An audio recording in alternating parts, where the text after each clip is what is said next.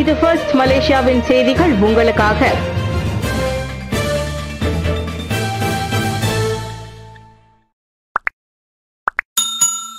Saeed Hamidi மீதான லஞ்ச ஊழல் வழக்கு ஒத்திவைப்பு. அகமது சாஹித் ஹமிதிக்கு எதிரான லஞ்ச வழக்கு விசாரணை ஒத்திவைக்கப்பட்டது.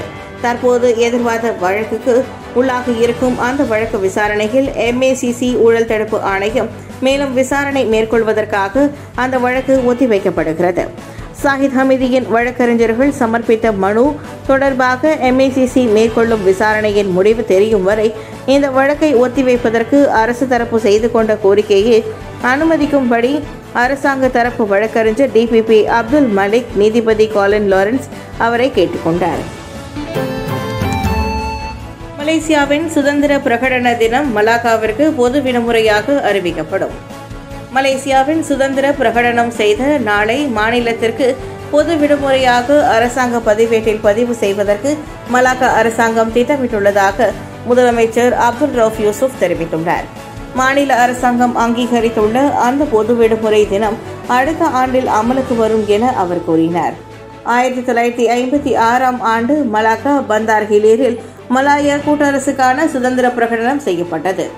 வரலாற்றின் முக்கியத்துவத்தை நாட்டின் இளைய தலைமுறை நினைவில் வைத்துக் கொள்ளும் நோக்கத்தில் இந்த பொது விடுமுறை அமையும். நடப்பிலுள்ள பொது விடுமுறை தினத்திற்கு மாற்றாக அந்த உத்தேச பொது விடுமுறை வழங்கப்படும் என அப்துல் ரவுஃப் தெரிவித்தார். மலேசியாவின் மிக சிறந்த முதலாளி தொழிலாளர்களுக்கு ஹரிராயா சிறப்பு போனஸுடன் ஷாப்பிங் செய்ய விடுப்பு வழங்கிய முதலாளி வைரல். நாட்டின் மிகவும் பிரபலமான சாம்பல் நைட் தொழில் முனைவரான கைருல் அமிங் கிளந்தானில் உள்ள தனது தொழிற்சாலை ஒன்றின் ஊழியர்களுக்கு ஹரிராயா சிறப்பு போனஸை வழங்கியதோடு அவர்கள் ஷாப்பிங் செய்ய ஒரு நாள் விடுப்பும் வழங்கியது பலரை ஆச்சரியத்தில் ஆழ்த்தியுள்ளது. இம்மாதம் ஏழாம் தேதி தொழிலாளர்களுக்கு ஹரி பண நோட்டுகள் அடங்கிய கடித உரையை வழங்கும் காணொலி ஒன்றை அவர் தமது சமூக ஊடகங்களில் வெளியிட்டுள்ளார். அதனைத் தொடர்ந்து இன்ஸ்டாகிராம் டிக்டாக் ஆகிய சமூக ஊடகங்கள் வாயிலாக கைருளை பின்தொடரும் எழுபது லட்சம் பேர் அவரை பாராட்டி பல்வேறு கருத்துக்களை பதிவிட்டு வருகின்றனர். தொழிலாளர்களுக்கு கைருள் வழங்கிய போனஸ் கடித உரையில் சுமார் மூவாயிரம் ரிங்கிட்டாவது இருக்கும் என கூறப்படுகிறது. தொழிலாளர்களின் கடின உழைப்புக்கு அங்கீகாரம் வழங்கும் வகையில் அந்த சிறு ஊக்குவிப்பு தொகையை தாம் வழங்கியதாகவும் முப்பது வயது கைருள் குறிப்பிட்டுள்ளார். அந்த போனஸ் தொகையை கொண்டு கைருளின் தொழிலாளர்கள் ஹரிராயா ஆடை அணிகலன்களை வாங்கிக் கொண்டதோடு தங்கும் விடுதி ஒன்றில் நோன்பு துறப்பிலும் அவர்கள் கலந்து கொண்டதாக கூறப்படுகிறது. ஜானா விபாபா குத்தகையாளர்களுக்கு வழங்கப்பட்ட ஏழு புள்ளி இரண்டு பில்லியன் ரிங்கிட் குத்தகைகள் ரத்து. ஜானா விபாவா திட்டத்தின் கீழ் குத்தகையாளர்களுக்கு வழங்கப்பட்ட ஏழு புள்ளி இரண்டு பில்லியன் ரிங்கிட் மதிப்புள்ள குத்தகைகளை கிராம மற்றும் வட்டார மேம்பாட்டு அமைச்சு ரத்து செய்துள்ளதாக அதன் அமைச்சர் doctor Seri Ahmad Zahid Hamidi தெரிவித்திருக்கிறார். நிதி அமைச்சு வழங்கியிருந்த அந்த குத்தகைகள் ரத்து செய்யப்பட்டு அவை மீண்டும் குத்தகைக்கு விடப்படும் என துணை பிரதமருமான அவர் கூறினார். அமலாக்கத்தில் சில தடைகள் ஏற்பட்டதால் குத்தகை திட்டங்களில் ஒழுங்குமுறை மற்றும் விதிமுறைகள் பின்பற்றப்படுவதை உறுதிப்படுத்துவதற்கு உடனடி நடவடிக்கை எடுக்கப்படுவதாக அகமது சாஹித் விவரித்தார். தீ விபத்தில் ஏழு வயது சிறுமி ஸ்ரீ லாவண்யா மரணம் பாட்டி காயம். பினாங்கு அயர்ஹிதாம் கம்புங் பிசாங் ஜாலான் பாயா தெரபுங்கில் உள்ள ஒரு வீட்டில் நேற்றிரவு ஏற்பட்ட தீ விபத்தில் ஏழு வயது சிறுமி ஜி ஸ்ரீ லாவண்யா கருகி மாண்டார். அந்த சம்பவத்தில் அச்சிறுமியின் ஐம்பது வயது பாட்டி கையில் காயத்திற்கு உள்ளானதால் பினாங்கு மருத்துவமனைக்கு அவர் சிகிச்சைக்காக கொண்டு செல்லப்பட்டார். நேற்றிரவு மணி பதினொன்று பத்தொன்பது அளவில் தீ விபத்து குறித்த தகவல் அறிந்தவுடன் உடனடியாக பாய தெருப்போங் மற்றும் ஜாலான் பேராக் தீயணைப்பு மற்றும் மீட்பு நிலையத்தை சேர்ந்த பதினெட்டு தீயணைப்பு வீரர்கள் சம்பவம் நிகழ்ந்த இடத்திற்கு விரைந்ததாக பினாங்கு தீயணைப்பு மீட்புத்துறையின் துணை இயக்குனர் ஜுல்ஹபிமி சுவாத தெரிவித்தார். நள்ளிரவு மணி பன்னிரண்டு நாற்பத்தி ஐந்து அளவில் தீ முழுமையாக அணைக்கப்பட்ட பின்னர் அந்த வீட்டின் பிரதான கதவு இருந்த இடத்திலிருந்து எட்டு மீட்டர் தொலைவில் அச்சிறுமியின் உடல் மீட்கப்பட்டதாக ஜுஃபால்மி கூறினார். தீ வேகமாக பரவியதால் அந்த வீட்டிற்கு அருகே உள்ள கிராமத்தின் மூன்று வீடுகள் சேதமடைந்ததாகவும் அவர் தெரிவித்துள்ளார். ஒன்று புள்ளி ஒன்று எட்டு மில்லியன் போலியாக பணம் கோரியதாக பெர்லிஸ் முன்னாள் மந்திரி புசர் அஸ்லான் மான் மீது ஐந்து குற்றச்சாட்டுகள். பிரிட்டனுக்கான போக்குவரத்து செலவு அங்கு தங்கியது மற்றும் விமான டிக்கெட்டுக்கான செலவுகள் என போலியாக மொத்தம் ஒன்று புள்ளி ஒன்று எட்டு மில்லியன் ரிங்கிட் தொகையை கோரியது தொடர்பில் பெர்லிஸ் முன்னாள் மந்திரி புசார் அஸ்லான் மான் மீது ஐந்து குற்றச்சாட்டுகள் கொண்டு வரப்பட்டன. உண்மையில் பயணம் செய்யாமலேயே அவர் அந்த தொகையை பணம் கோரியதாக குற்றப்பத்திரிகையில் கூறப்பட்டது. இரண்டாயிரத்தி பதிமூன்றாம் ஆண்டுக்கும் இரண்டாயிரத்தி பதினேழாம் ஆண்டுக்கும் இடையே மலேசிய ஊழல் தடுப்பு ஆணைய சட்டத்தின் பதினெட்டாவது விதியின் கீழ் அந்த குற்றங்களை புரிந்ததாக அஸ்லான் மான் மீது குற்றம் சாட்டப்பட்டது. கங்கா செஷன்ஸ் நீதிமன்ற நீதிபதி நூர்சலா ஆம்சா முன்னிலையில் தமக்கு எதிராக குற்றச்சாட்டு கொண்டு வரப்பட்டது. அதனை மறுத்து அஸ்லான் விசாரணை கோரினார். அவருக்கு ஒரு நபர் உத்தரவாதத்தின் பேரில் ஐம்பதாயிரம் ரிங்கெட் ஜாமீன் வழங்கப்பட்டதோடு அவரது கடப்புதழும் முடக்கப்பட்டது. கடந்த இரண்டாயிரத்தி பதிமூன்றாம் ஆண்டு டிசம்பர் இருபதாம் தேதிக்கும் இரண்டாயிரத்தி பதினான்காம் ஆண்டு ஜனவரி நான்காம் தேதிக்கும் இடையே இரண்டு லட்சத்து பதினாறாயிரத்து இருநூற்று அறுபது ரிங்கெட் போலி கோரிக்கையை கோரியதாக முதல் குற்றச்சாட்டு கொண்டு வரப்பட்டது. அதனைத் தொடர்ந்து அடுத்தடுத்த இதர நான்கு குற்றச்சாட்டுகள் அவர் மீது கொண்டு வரப்பட்டன. சாலை செமிக்னே விளக்கு பகுதியில் காரில் உறங்கி போன ஆடவர் மது போதையில் இல்லை. கெடாசுமை பட்டாணியை சாலை சமிக்ஞை விளக்கு பகுதியில் நிறுத்தப்பட்டிருந்த காரில் உறங்கிய ஆடவர் மது போதையில் இல்லை என்பது போலீசார் உறுதிப்படுத்தினர். முன்னதாக சாலை சமிக்ஞை விளக்கு பகுதியில் நின்று கொண்டிருந்த காரில் ஆடவர் ஒருவர் உறங்கும் காணொளி ஒன்று வைரலானது. பொதுமக்கள் சிலர் அந்த காரின் கண்ணாடியை தட்டி உறங்கும் ஆடவரை எழுப்ப முயலும் காட்சிகளும் அதில் இடம்பெற்றிருந்தன அந்த காணொளி இம்மாதம் முதலாம் தேதி யூடியூப் சமூக ஊடகத்தில் பதிவேற்றம் செய்யப்பட்டதை குவாலாமுடா மாவட்ட போலீஸ் தலைவர் அசிஸ்டன்ட் கமிஷனர் ஜெய்டிஹே ஹசான் தெரிவி தெரிவித்தார். சிவப்பு விளக்கில் நின்ற அந்த காரின் ஓட்டுநர் அசதியால் தன்னை அறியாமல் அப்படியே உறங்கி போனது விசாரணையில் தெரிய வந்ததாக ஜெய்டி சொன்னார். எனினும் அவர் விழித்து எழுவதற்குள் அங்கு கூட்டம் கூடிவிட்டதால் பின்னர் அங்கு வந்த போலீசாரின் உதவியோடு நிலைமை கட்டுப்பாட்டுக்குள் கொண்டு வரப்பட்டதையும் சைட் சுட்டிக்காட்டினார். வேலையை இழந்ததால் மன உளைச்சல் அண்டை வீட்டுக்காரரின் கார் கண்ணாடியை அடித்து உடைத்த ஆடவனுக்கு சிறை. ஸ்லாங்கூர் பூச்சோங் பெடானாவில் உள்ள குடியிருப்பு பகுதி ஒன்றில் அண்டை வீட்டுக்காரரின் கார் கண்ணாடியை கட்டையால் அடித்து உடைத்த ஆடவன் ஒருவன் கடந்த வியாழக்கிழமை கைது செய்யப்பட்டான்.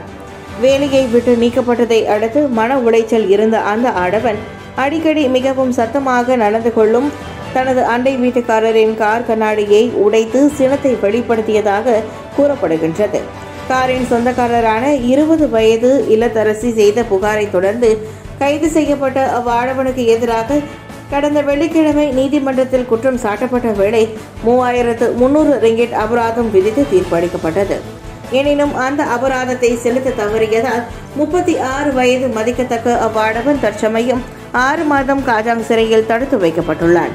முன்னதாக ஆடவன் ஒருவன் கட்டையால் கார் கண்ணாடியை அடித்து உடைக்கும் நாற்பத்தி ஐந்து வினாடி காணொளி ஒன்று வைரலானது குறிப்பிடத்தக்கது. நான்கு பிஎம்டபிள்யூ ஆடம்பர கார்கள் தீயில் அழிந்தன. தாமான் ஈகோ அரா டாமன் சராவிற்கு அருகே காட்சி நிலையத்தில் வைக்கப்பட்டிருந்த நான்கு பிஎம்டபிள்யூ ஆடம்பர கார்கள் தீயில் அழிந்தன. நேற்று நள்ளிரவுக்கு பிறகு ஏற்பட்ட தீ விபத்தில் அந்த கார்கள் லோரியில் இருந்து இறக்கப்பட்ட போது ஏற்பட்ட தீ விபத்தில் அழிந்ததாக ஸ்லாங்கூர் தீயணைப்பு மீட்புத் துறையின் இயக்குனர் மோர்னி மமாட் உறுதிப்படுத்தினர். அந்த பிஎம்டபிள்யூ எக்ஸ் ஃபைவ் இரண்டு பிஎம்டபிள்யூ ஃபைவ் சீரீஸ் மற்றும் ஒரு பிஎம்டபிள்யூ செவன் சீரீஸ் ரக கார்கள் அவை என தெரிவிக்கப்பட்டுள்ளது. கார்கள் எழுபது விழுக்காடு அழிந்த வேளையில் இதர இரண்டு கார்கள் முழுமையாக அழிந்தன. முன்னாள் மனைவியின் வீட்டின் கதவின் கண்ணாடியை நொறுக்கிய ஆடவருக்கு மூன்றாயிரம் ரிங்கெட் அபராதம். தனது முன்னாள் மனைவிக்கு சொந்தமான வீட்டின் கதவை உடைத்து நொறுக்கிய ஆடவன் ஒருவனுக்கு மேஜிஸ்ட்ரேட் நீதிமன்றம் மூன்றாயிரம் ரிங்கெட் அபராதம் விதித்தது. நாற்பத்தி ஆறு வயதுடைய முகமது ஷாரிமான் ஜுல்காப்ரி இந்த குற்றத்தை ஒப்புக்கொண்டதை தொடர்ந்து அந்த நபருக்கு மேஜிஸ்ட்ரேட் எஸ். புனிதா இந்த அபராதத்தை விதித்தார். தமது முன்னாள் மனைவிக்கு காயம் ஏற்படுத்தும் நோக்கத்தில் அவரது வீட்டின் கதவின் கண்ணாடியை உடைத்ததாகவும் இதனால் அவருக்கு இருபத்தி ஐந்து ரிங்கெட் இழப்பு ஏற்பட்டதாகவும் முகமது ஷரிமான் மீது நீதிமன்றத்தில் குற்றம் சாட்டப்பட்டது. ஏப்ரல் நான்காம் தேதி இப்போ ஜாலான் பின்ஜா இந்தாவில் உள்ள ஒரு வீட்டில் அவர் இக்குற்றத்தை புரிந்ததாக கூறியுள்ளது. நஜீப்பிற்கு பொது மன்னிப்பு கோரும் விவகாரம் அது அரசாங்கத்தின் நிலைப்பாடு அல்ல. முன்னாள் பிரதமர் டத்தோஸ்ரீ நஜீப் பொது மன்னிப்பு கோரும் முடிவை அரசாங்கம் எடுக்கவில்லை. மாறாக அது அரசியல் கட்சி என்னும் அடிப்படையில் அம்னோவை சார்ந்தது என போக்குவரத்து அமைச்சர் அந்தோனி லோக் தெளிவுபடுத்தினார். அவ்விவகாரம் தொடர்பில் இதுவரை பிரதமர் டத்தோஸ்ரீ அன்வார் இப்ராஹிம் தலைமையிலான அமைச்சரவை கூட்டத்தின் போது ஒருபோதும் விவாதிக்கப்பட்டதில்லை. எனவே அது அரசாங்கத்தின் நிலைப்பாடு அல்ல என்பதையும் லோக் உறுதிப்படுத்தினார்.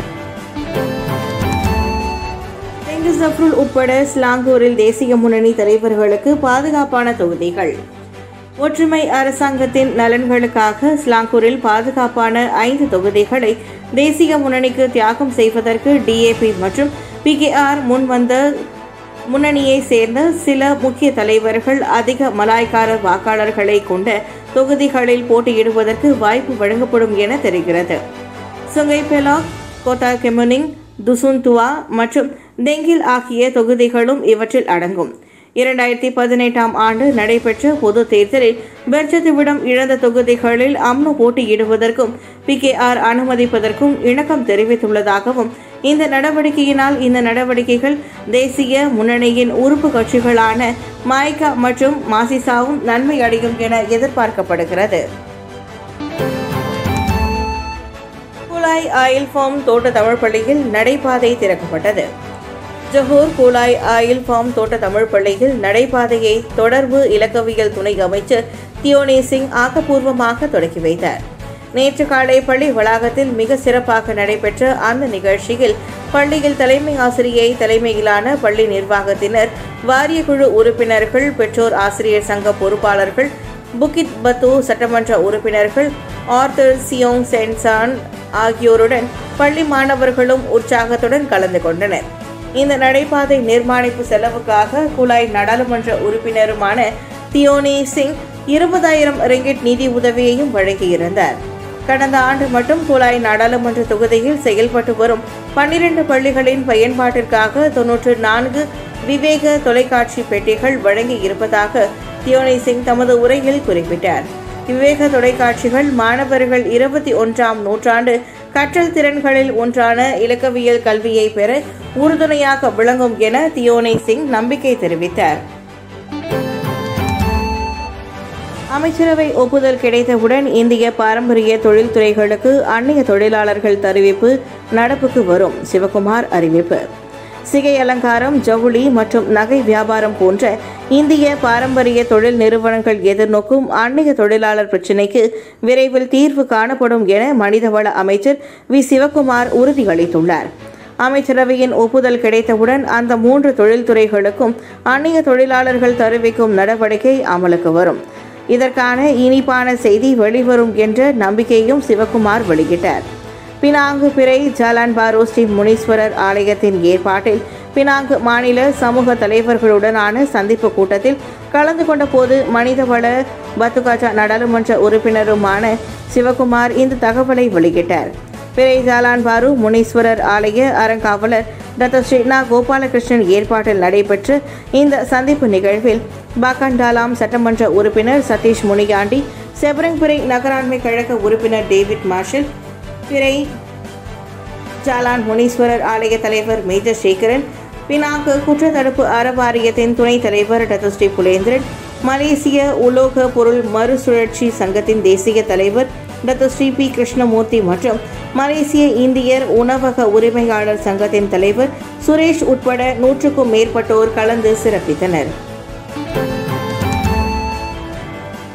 பதினாறு ஆண்டுகால போராட்டத்திற்கு பின்னர் மாணவி ஆன் கேப்ரியலுக்கு குடியுரிமை. பெற்றோரால் கைவிடப்பட்ட ஆன் கேப்ரியல் என்ற பதினாறு வயது மாணவிக்கு பதினாறு ஆண்டுகால போராட்டத்திற்கு பின் மனிதவள அமைச்சர் சிவகுமார் மற்றும் ட்ரா மலேசிய இயக்கத்தின் முயற்சியில் இப்போது குடியுரிமை கிடைக்கப்பட்டுள்ளது. ஆன் கேப்ரியல் கைக்குழந்தையாக இருந்தபோது அவரின் தாயார் கைவிட்டு சென்ற நிலையில் அந்நேரத்தில் அவரது தந்தையும் காலமாகிவிட்டார். பெற்றோரை இழந்த ஆன் கேப்ரியல் பிறப்பு பத்திரம் மற்றும் இதர ஆவணங்கள் எதுவும் இன்றி இருந்தார் கைக்குழந்தை முதல் ஆன் கேப்ரியலை தாமான் ஆம்பாங் புகேட் தெரத்தாயை சேர்ந்த ஆரோக்கியசாமி அன்னம்மாள் தம்பதியர் எடுத்து வளர்த்து வந்தனர். அவருக்கும் இவருக்கும் குடியுரிமை பெறுவதற்கு ஆரோக்கியசாமி ட்ரா மலேசிய இயக்கத்தின் தலைவர் சரவணின் உதவியை நாடியதோடு அதற்கு மனிதவள அமைச்சரின் ஒத்துழைப்பும் கிடைத்தது. அம்பாங் தமான் சிறையா இடைநிலை பள்ளியில் பயிலும் தமக்கு மலேசிய குடியுரிமை கிடைக்க பேருதவியை புரிந்து அனைவருக்கும் ஆன் கேப்ரியல் தமது நன்றியை தெரிவித்துக் கொண்டார். பிஎம்ஜே குடும்பத்துடன் நீந்திய இடத்தில் முதலை அழையா விருந்தாளியை கண்டதில் அதிர்ச்சி. நாட்டில் ஆங்காங்கே முதலைகள் நடமாட்டம் வழக்கமாகியுள்ளது. அடைமழை நிலையற்ற தட்பவெட்ப சூழல் அதற்கு முக்கிய காரணமாக கருதப்படுகிறது. அண்மையில் ஜஹூர் பட்டத்து இளவரசர் டிஎம்ஜே தனது வீட்டிற்கு முன்புறத்தில் உள்ள கடலில் தாம் எவ்வாறு முதலையை காண நேர்ந்தது எனும் சுவாரஸ்யம் கலந்த வியக்கத்தக்க கதையை தமது ட்விட்டரில் பதிவிட்டுள்ளார். தாமும் தமது பிள்ளைகளும் உல்லாசமாக நீந்தி விளையாடிய அதே இடத்தில் ஒரு மணி நேரத்திற்கு பின் முதலை ஒன்று கடந்து செல்வதைக் கண்டு அதிர்ச்சி அடைந்ததாக அவர் அந்த பதிவில் குறிப்பிட்டிருந்தார். பெரிய முதலை ஒன்று நீரில் நீந்தும் காணொலி ஒன்றையும் அவர் பதிவிட்டுள்ளார். அந்த பதிவு வைரலாகி உள்ளதோடு அது தொடர்பில் இணையவாசிகள் பல்வேறு கருத்துக்களை பதிவிட்டு வருகின்றனர். அதில் சிலர் டிஎம்ஜே மற்றும் அவரது பிள்ளைகளின் பாதுகாப்பு குறித்து பிரார்த்தனை செய்வதாக குறிப்பிட்டுள்ள வேளை மேலும் சிலர் உங்கள் நீச்சல் குளம் ஏன் இவ்வளவு பெரிதாக இருக்கிறது என கேலியாகவும் பதிவிட்டுள்ளனர்.